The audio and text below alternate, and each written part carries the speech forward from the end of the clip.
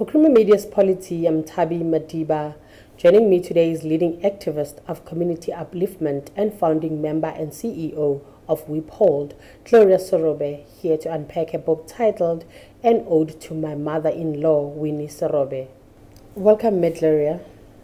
You penned an ode to your mother-in-law, Winnie Serobe, with this book. So can you briefly tell us how she inspired you with love and acceptance? Um, I'm 36 years married. Um, so when you join this large family as a new uh, wife, can be quite daunting uh, because you're coming into a, an established set of homes with their value systems and fellow systems and traditions and all of that. And so, most important is that you are integrating yourself into this. And um, it, it helps a lot to have somebody who can hold your hand as you do that. Because what's really is expected of us is that we can just take a back seat and learn how it's done, how are they doing things here and make it your business to understand it. So I think the best person to learn from in my mind is the one who has done the same thing before, some 40 years before you. Because she too came from her own home and joined this family. Now she is part of the system. And that's what inspired uh, one to write this. And can you briefly talk to us about your relationship with Mama, as you call her in the book, Winnie Serobe? Also share with us some of what could be useful to mothers and daughters-in-law. I think the the importance of seeing her as mama is that truly speaking you're being transferred from one mother to another mother. So your own mother has done her best to bring you up to a certain age. And so when you get married, you, you kind of like get into that other uh, house with a mother in it. So in my case, I was 28 uh, when that happened. It's not that bad in terms of age and uh, maturity, but in terms of it being your first marriage, you don't know much about anything. Uh, it's almost like that's the stage that she's taking you then to another level to be a woman, to be a wife, to be a mother yourself, and, and so on. So the what one can learn from that, because she actually uh, gave a very firm hand, very firm support, and uh, learnings. Of course, must be teachable as well, and um, but carry you to uh, all manner of things. Interesting enough. Um, I'm saying that you need a mentor in marriage just like you need a mentor at work. And but with marriage we tend to think that we don't really, but you do. Because also families are a deep system as well. Just like when you join Nedbank or Standard Bank, you are joining a deep system. That's why you need a mentor. And secondly, um, at that young age, you, you struggle with this thing of balancing being successful at work and also being successful in family, being a good wife, being a good mother, being a makoti in our case. And so the, the, the importance there of, of my mother-in-law then is that of she also bridged that gap of where you're struggling, uh, this uh, career and family because she herself was a professional nurse and she understood that uh, struggle of being a career woman and also being a wife. She was 21 uh, when she got married, much younger than me, but she actually successfully brought up a family of, uh, of five children in the process and being a professional nurse and also being a community worker. And all of this, she passes them to me which became very handy for me even as I was progressing uh, in my career, in my business life. So I'm just saying you're actually then asking what lessons then uh, can you give is to say for those who are mothers-in-laws, uh, can you be kind uh, to this little girl coming from wherever and be that mother that she has left behind and take her forward. But I'm also saying to the young uh, wives, can you just give this mother a chance uh, to bring you up and be the mother that you left behind? And, and when you do that, there's a chance that there will be a better you, uh, both at work and here as a family person because she also has seen it all. We also tend to say that uh, I'm a career woman, uh, whatever. These mothers were career women. Remember, most mothers were domestic workers.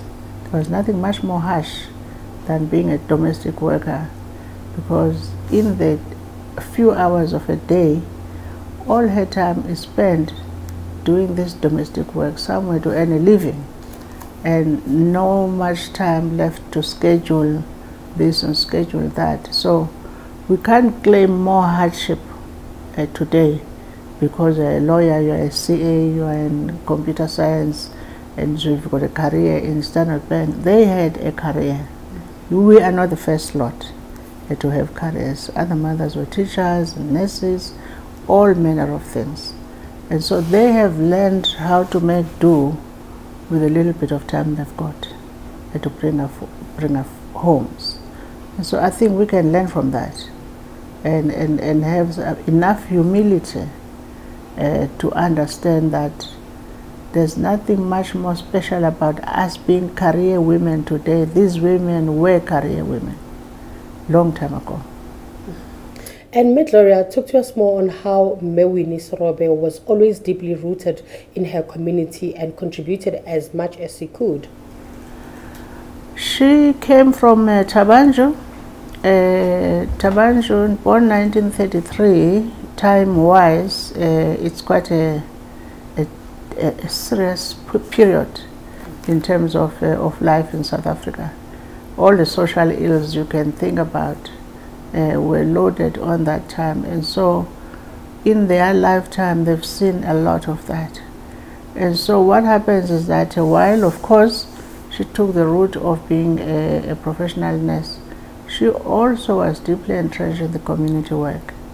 And whether it is about being a consumer or being a blind association or Black Housewives League, everything because all these NGOs, one way or another, uh, they were dealing with one type of social ill to another. And, um, and she became very active in that. In the process, she dragged me into that as well.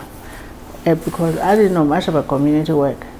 Uh, I learned it from her, um, which I'm always grateful for that because my career doesn't necessarily take me to that route but in my decision making, I'm preoccupied by all of those things because she actually entrenched me in that way of thinking. Tell us how Mama connected you to her networks, and in doing so, she built you a village of support, mentorship, and leadership.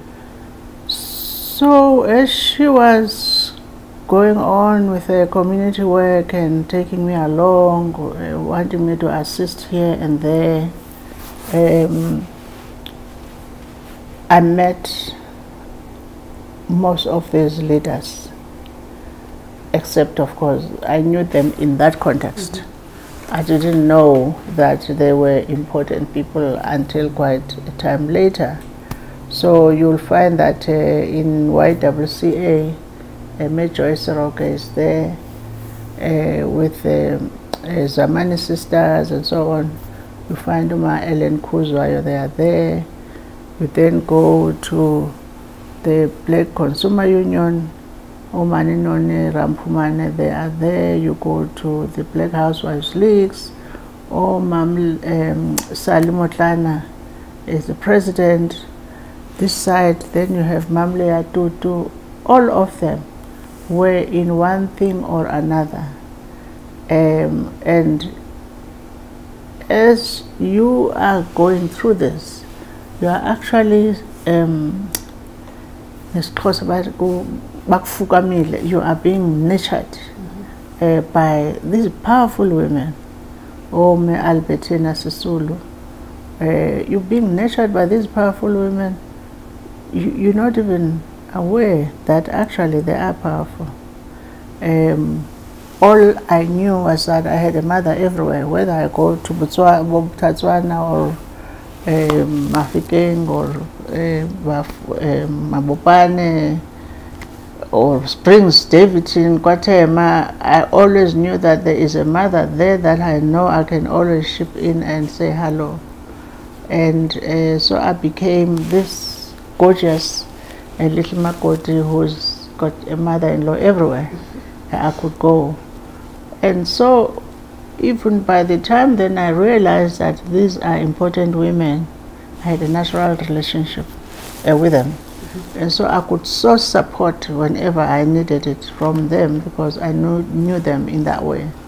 So when I'm talking about shifting her network uh, to me, it is in that context. You're just being with mothers and making tea and coffee and scones and every umakoti That's all you are. I don't know if your name doesn't show up, right? Um, but you know, yeah, and in business, I have leaned on them sometimes with ease, even though they were not in business.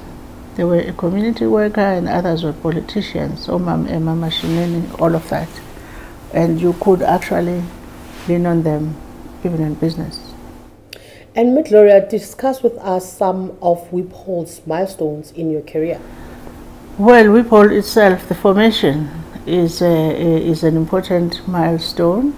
Actually, even on Wiphold, when we decided to form Wiphold and there was four of us, um, we were aware that we are not quite known uh, because we were young but what we were going to do was to end up having to get people to invest into Wiphold, trust us with their money, and they don't know us.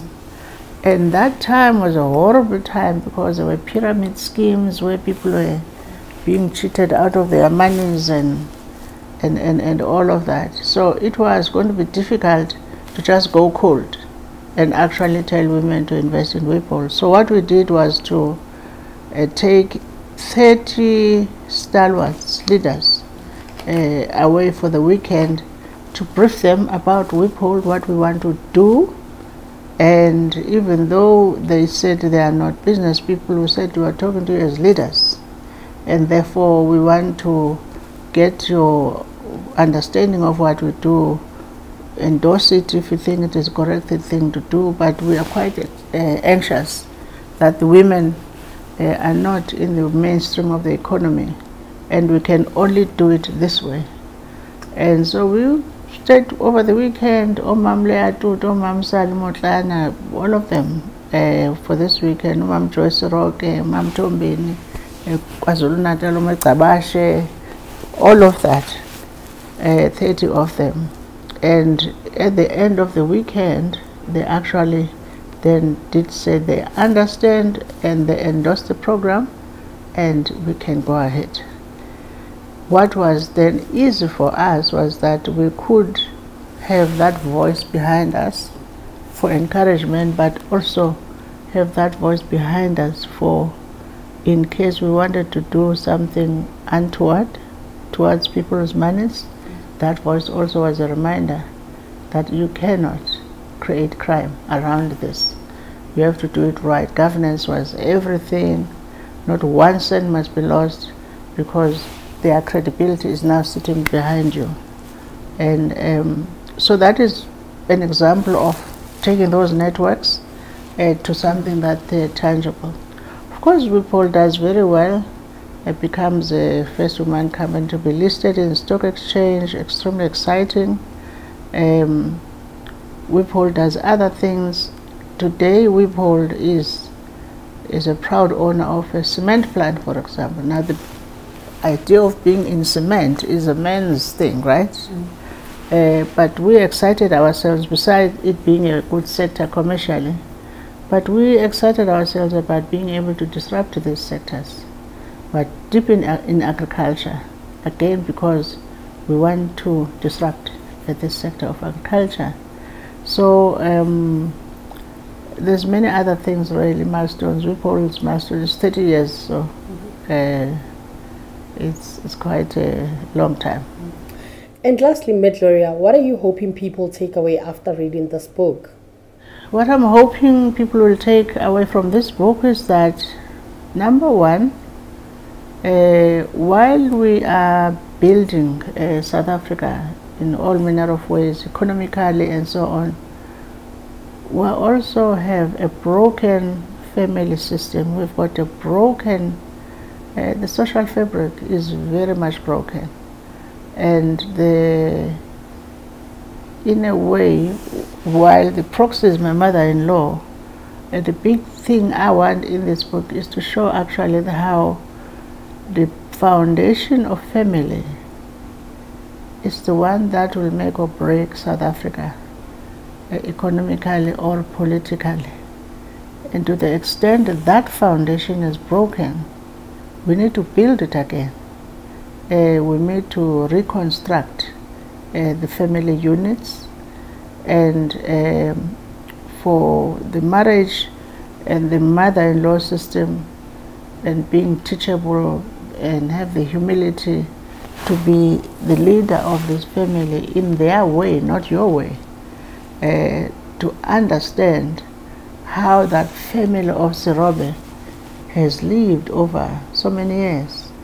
And uh, even when you bring some enhancements uh, into it, even when you do bring some value add uh, to it, but first know it.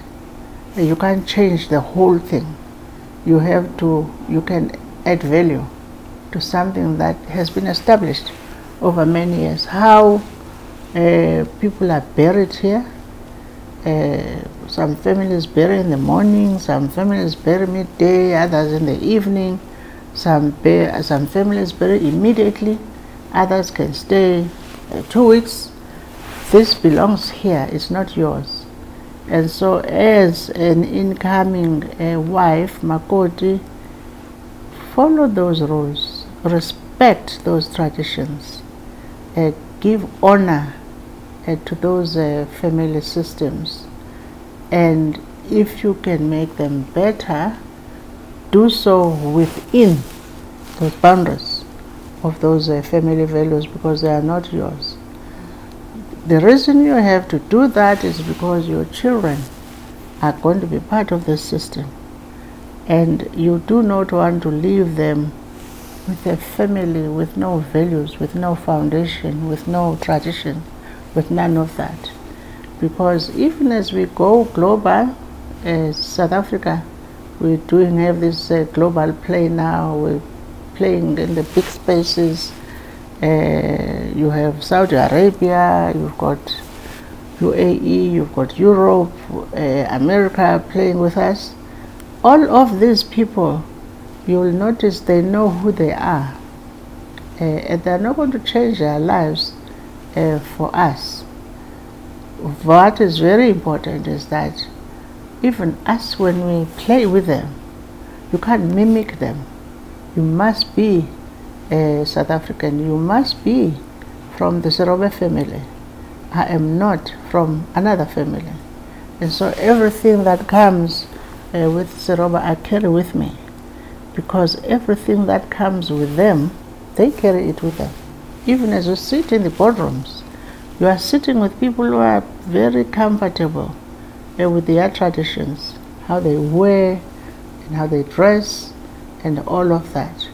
And so there's a bit on our side which I think we're starting to want to disown uh, those things that are ours because we think that they're not cute, they're not cool, and all of that. And in the process, uh, we are losing ourselves. We're becoming weaker and weaker uh, because we have no point of reference. Everyone, when the chips are down, everyone goes home. And so when we have broken these homes, we have nothing to go back to. And so I want this uh, book to be that book that can have these conversations in homes about uh, is maybe the route to take about uh, building these homes because I'm referring to the fact that the fact that you are getting married today, the expectation is that you will come and build this family. You will come and do better than your own mother or your own mother-in-law about uh, this uh, family. You'll come and do better than all of them. But you will keep their value system, traditions, exactly as they are, and, and enhance them if you have to. That is what I want the book to do hopefully over Christmas people will be having those conversations because some of the things we're struggling with as a, as a young wives, we're sweating the small stuff really. Uh, there's nothing dramatic about expectation that you will cook for the family. You were going to cook for yourself, by the way. It's just that now instead of cooking for one, you're cooking for ten. So what? Uh, so the things that we're dramatic about are not very important. The important thing for me is entrench yourself into this family, make it work. And so let's just make these family units to work uh, if we are going to build South Africa in whatever form, whether politically or economically, but the family system must be based properly. That is what I'm hoping. That was Gloria Serobe speaking to Creamer Media's Polity about an ode to my mother-in-law, Winnie Serobe.